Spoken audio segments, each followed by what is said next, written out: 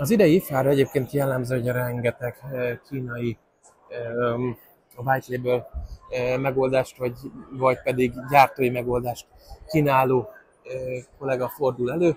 Mindenféle megoldásban találunk, akár itt például egy távirányítós megoldás, egyébként ezek eléggé ügyesek, kijelzős távirányítós megoldásban a Bexi, de van nekik minden egyéb is, és hát erről a távirányítóról egyébként vezérelhető maga a, a különböző okos otthon eszközök is, akár a, a, a TV, Netflix, stb. is.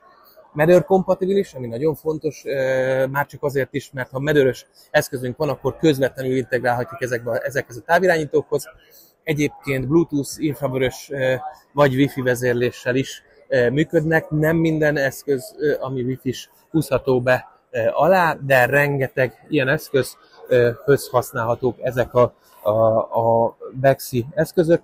Az 500-as széria a kisebb 200-as, illetve a 100-as eszközök vannak, és az 500-as pedig a, a, a nagyobb eszköz, ez a három méret található meg, itt nagyjából itt látható is az asztalon a, a, a három mérete az eszköznek.